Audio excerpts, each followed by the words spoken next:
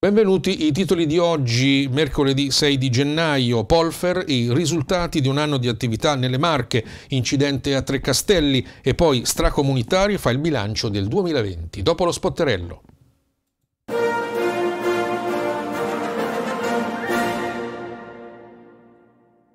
Ladies and gentlemen, take your seat in this performance.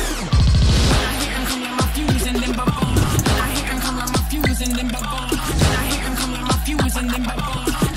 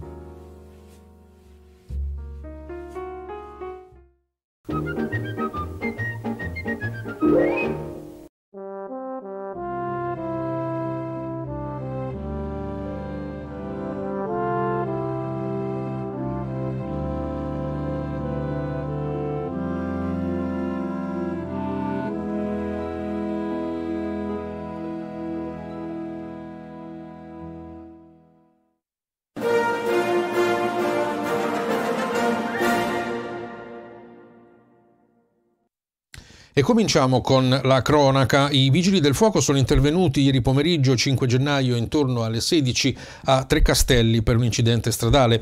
Coinvolta un'auto con a bordo solo il conducente che si è ribaltata rimanendo sulla sede stradale. La squadra dei vigili del fuoco sul posto ha messo in sicurezza l'auto e controllato eventuali perdite dell'impianto a gas installato sul mezzo. Nessuna conseguenza grave per il conducente. Polfer di Marche, Umbria e Abruzzo il bilancio delle operazioni compiute nel 2020.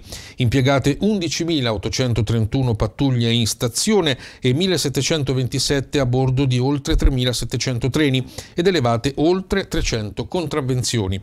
Sono state inoltre tratte in arresto 26 persone, 266 quelle denunciate in stato di libertà e 35 i soggetti raggiunti da altrettanti provvedimenti di allontanamento temporaneo dalle stazioni. Lo abbiamo detto nel videogiornale di ieri che anche a Senigallia e Serra dei Conti è in arrivo lo screening di massa. Oltre a ricordarvi che si effettuerà l'11, 12, 13 di gennaio, ascoltiamo quali saranno le procedure che verranno effettuate. Le fasi sono diciamo così, diversificate secondo eh, il personale disponibile nelle varie aree vaste, quindi ogni area vasta ha a disposizione un setting di personale, di volontari e funziona per cui i cittadini si mettono in colonna, eh, accedono al punto di prelievo, eh, rilasciano un certificato, un'autodichiarazione in cui attestano di non essere positivi, non di avere altri sintomi, arrivano alla prima postazione dove c'è un'infermiera che eh, trae il tampone, un altro infermiere sotto la vigilanza del medico processa il tampone, se il tampone è positivo si applica immediatamente un altro tampone eh, molecolare per verificare l'eventuale positività, poi si procede e al termine di questo percorso eh, si attende un quarto d'ora e si conosce immediatamente l'esito. Noi saremo in grado di sapere eh, con, un, con un procedimento che viene svolto per la prima volta nel nostro paese, ma forse in Europa. Stiamo parlando di un milione di persone che potranno essere testate. Abbiamo acquistato 2 milioni e 200 mila tamponi e sapremo sostanzialmente tre elementi. La diffusione del virus nella nostra regione, se c'è una concentrazione in alcune aree, e soprattutto le persone che potranno, essere, che potranno, risultare positive saranno responsabilizzate nel non trasmettere con i suoi comportamenti il virus ai genitori, ai nonni o nell'ambiente di lavoro. Ci sarà un'assunzione di responsabilità diretta da parte dei cittadini. E continuiamo con le nostre notizie. Per l'associazione Stracomunitari il 2020 è stato un anno molto impegnativo. Grazie alla generosità di molti e alla dedizione e sacrificio dei nostri volontari siamo sempre riusciti a non tradire le aspettative di chi confidava in noi. Ci piace sottolineare come questa attività di solidarietà favorisce l'attiva lotta allo spreco. Gran parte infatti dei prodotti che recuperiamo dai supermercati presentano qualche ammaccatura o altre imperfezioni che ne rendono esteticamente non più commerciabili, ma ovviamente sono perfettamente buoni per essere consumati. Cambiamo argomento. Per il primo anno il Servizio Civile a Sera dei Conti si apre nel settore della cultura con il progetto La Resilienza come sfida di cambiamenti.